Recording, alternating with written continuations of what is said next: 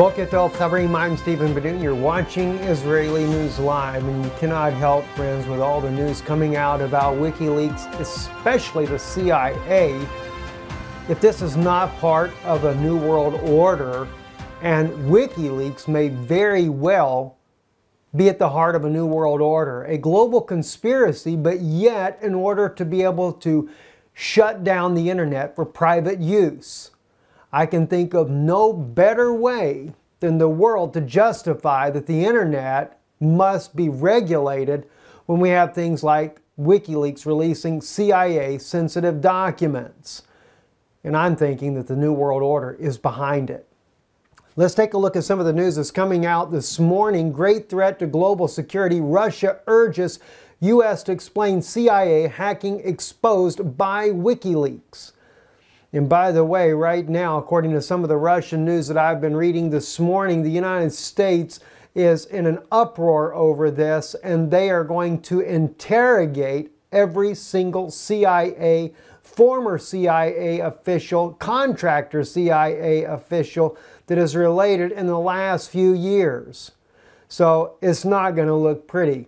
But again, it's just too odd to me to see this type of information being leaked out and it not be part of a global initiative, a global purpose driven purpose, no doubt, to bring about a new world order. And it's something that, you know, I, you didn't, I didn't think as much about this during the election uh, when Hillary Clinton and uh, her and, and Podesta and all their information was being leaked. But now that the CIA, all the information is being leaked there, this is clearly something much larger than just somebody leaking information. Because I can tell you right now, CIA would, will and are more than able to track down who's doing it and bring them to justice. But I don't think that's the purpose.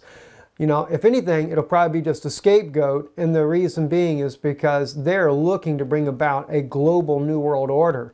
I just saw a video that Paul Begley did. Uh, Pastor Begley was putting out a video about uh, troops that he saw himself sitting at a gas station inside of southern Indiana and just huge numbers of military equipment, all sizes of military equipment on the move in the United States.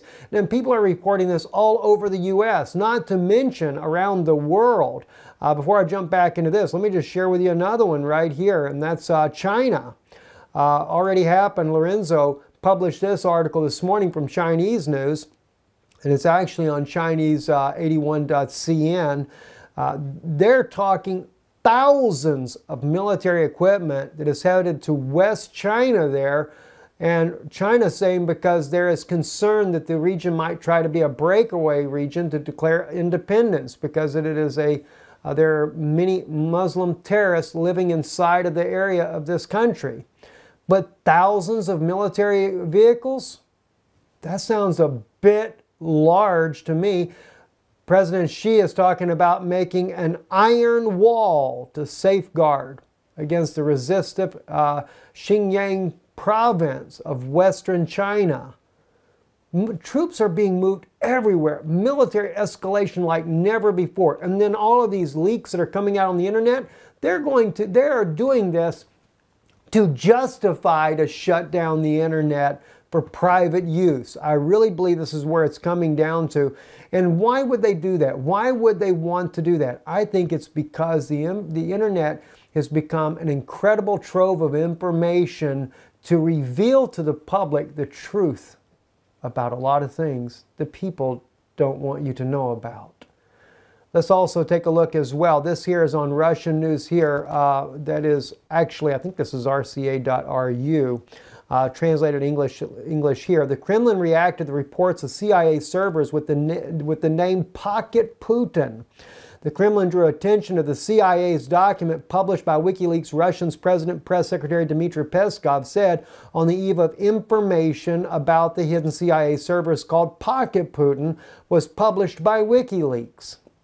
And of course, this was a nickname that the CIA gave it for listening devices. They had five different programs in this uh, uh, Vault 7 trove that have been released, and according to uh, Julian Assange, this is only 1% of what's coming out.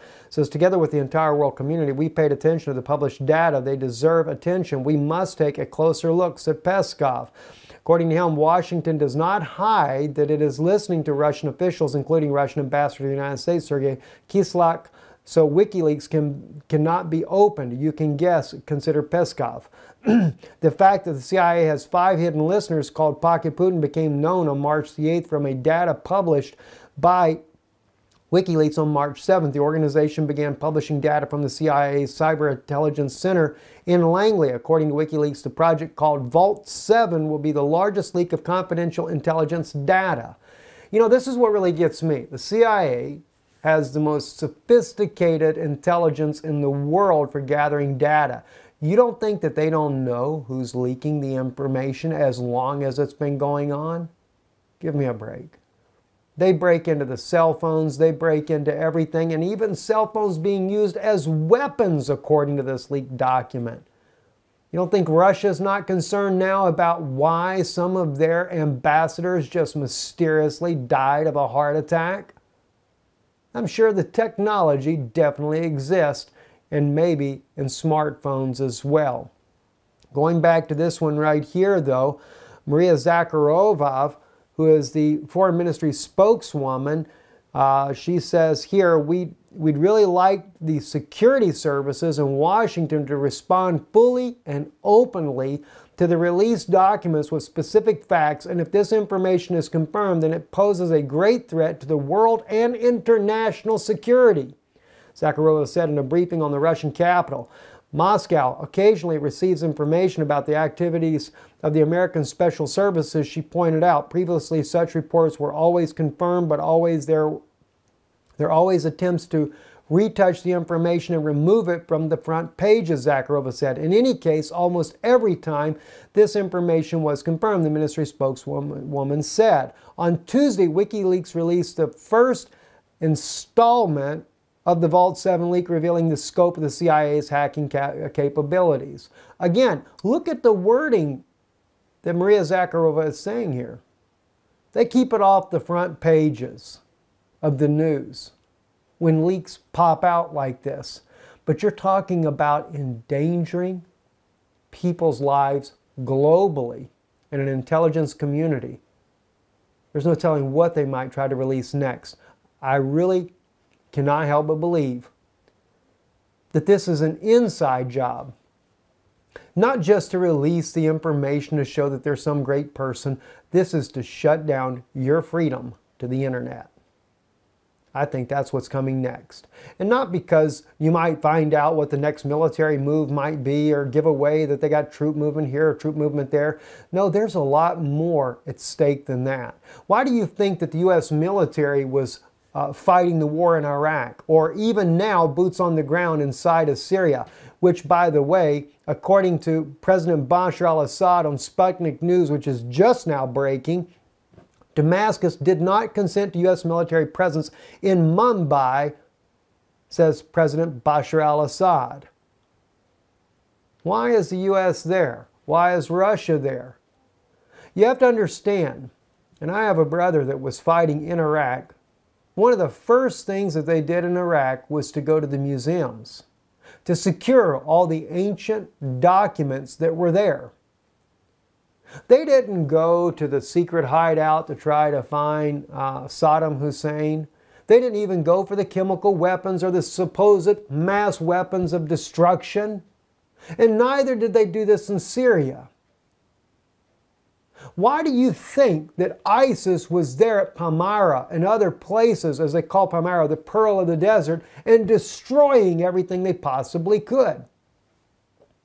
Why do you think in Mosul, which is the ancient city of Nineveh, why do you think that those artifacts were destroyed? There's a lot of hidden things written historically from our ancestors that they do not want the world to know about. It's just like the Ben Asher Codex that made its journey secretly in a washing machine from Syria to Israel. But it didn't end up going to the uh, the Syrian Jewish community or the Aleppo Jewish community, it ended up disappearing thanks to the president of Israel at that time. And supposedly, four of those books ended up missing. That was interesting, wasn't it? Well, they claimed it was a fire that destroyed the pages. We'll later find out the experts say that's not true. Another interesting thing the Dead Sea Scrolls. What about the Dead Sea Scrolls? You know, Rachel, uh, I think it's Elior, who is a professor in, at the University in Jerusalem there, she was on the Dead Sea Scrolls. She just wrote a book recently. Woman's not a Christian by no means, she's a Jewish woman. But she does allude to the fact that in the Dead Sea Scrolls it clearly was a community that was believers of Yeshua as a Messiah. But I thought it was really interesting because she noted as well modern day Christianity has drifted far from what was taught by them. She said, same way has Judaism have drifted far from what Moses originally taught. Isn't it interesting also that there are two books of Isaiah that were found in what was that, Cave 11 or Cave 1, I forget which cave that was, where they found the great, as they call it, the great Isaiah scroll. She pointed out one of those scrolls had are meaningful differences than the other. What are they trying to hide? What do they not want to make it on the internet? I think there's a lot more at stake. And I think that WikiLeaks is only a plot to shut it all down.